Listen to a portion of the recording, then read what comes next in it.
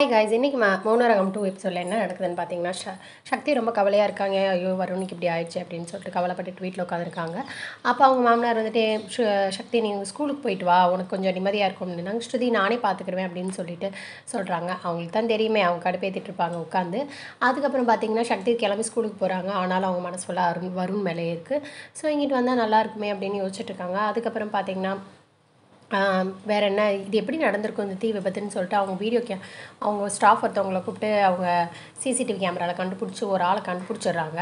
அதுக்கடுத்து பார்த்தீங்கன்னா எங்கிட்ட என்ன நடக்குதுன்னா மல்லிகாவை வந்துட்டு மல்லிகாவும் கார்த்திக் ரெண்டு பேரும் சேர்ந்து பாடுற மாதிரி நிறைய டேரக்டர்ஸ் வந்து கேட்குறாங்க உடனே சரின்ட்டு ஒருத்தவங்க சொல்கிறாங்க அப்புறம் சொர்ணாவும் அதான் சொல்லிட்டு இருக்காங்க.